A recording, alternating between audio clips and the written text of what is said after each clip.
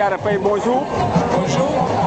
Vous êtes le secrétaire général du mouvement des élèves et étudiants socialistes. Aujourd'hui, c'est le congrès d'investiture du premier secrétaire du Parti socialiste, M. Ousmane Tanordien, pour la présidentielle de 2012. Alors, vous avez conduit le premier secrétaire de l'université à la maison du Parti socialiste par une marche improvisée de plus de 4000 étudiants. Pourquoi cette manière de faire? Oui, euh, il s'agissait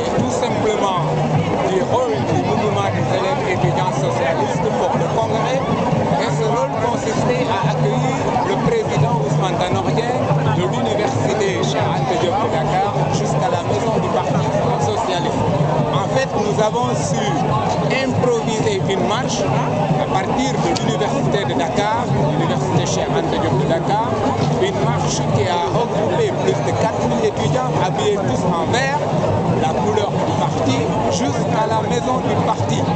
Et durant tout le trajet, nous avons su scander le slogan Tanor Président, votre élection Nyokores, autrement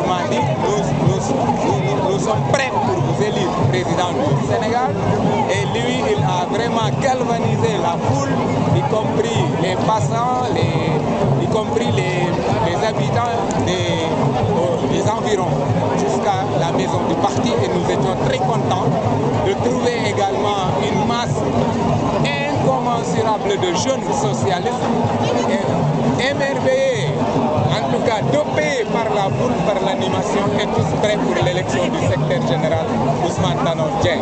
Donc euh, le prétexte c'est le congrès, mais le fond c'est la démarche, c'est l'action pour l'élection de Tanor.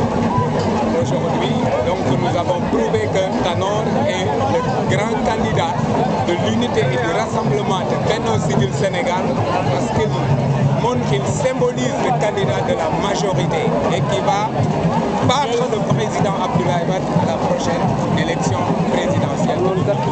Cela suppose donc que vous êtes satisfait de la mobilisation.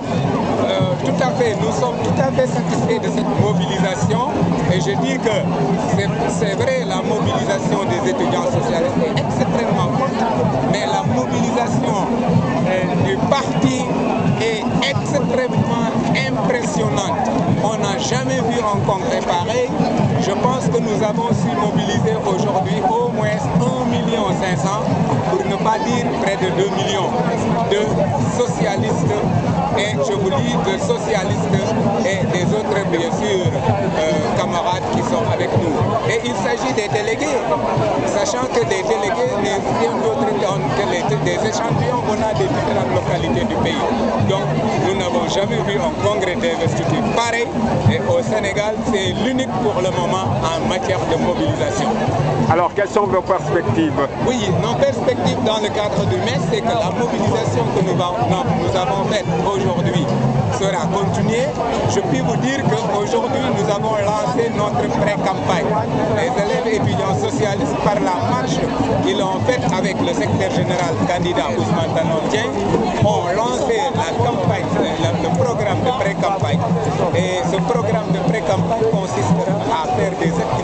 grande envergure dans tout le pays pour l'élection de Tanor.